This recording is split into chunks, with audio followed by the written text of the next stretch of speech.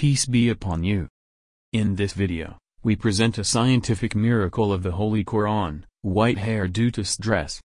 In 1793, before the French Revolution, the hair of the last Queen of France, Marie Antoinette, born 1755, died 1793, suddenly turned white before her execution. After the arrest of the king and queen in 1792, Marie Antoinette was found guilty of treason, theft and sexual abuse against her son and was executed by guillotine in 1793. One night before her execution, her hair turned white and she was 38 years old. Modern science relates the reason for hair to turn white to stress and called this condition the Marie Antoinette syndrome.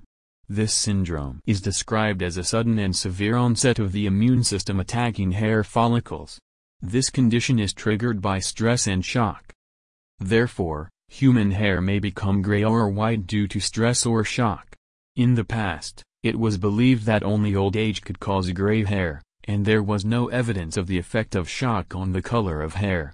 Although severe shock can result in hair turning gray or white, this may not be visible immediately after the shock, but sometimes occurs after a few weeks. This is due to the reduction in melanin, which is produced by human cells, namely melanocyte, and gives human skin, hair and eyes their color. If the production of melanin is reduced, the hair changes its color to gray, while if the production of melanin ceases altogether, the hair becomes white, no color. Stress is one of the reasons why the production of melanin reduces. As shock causes stress, it will also affect the color of the hair and turn it gray or white. More than 1,400 years ago, the Holy Quran mentioned that shock from the terrors on the day of resurrection would cause children's hair to turn gray or white.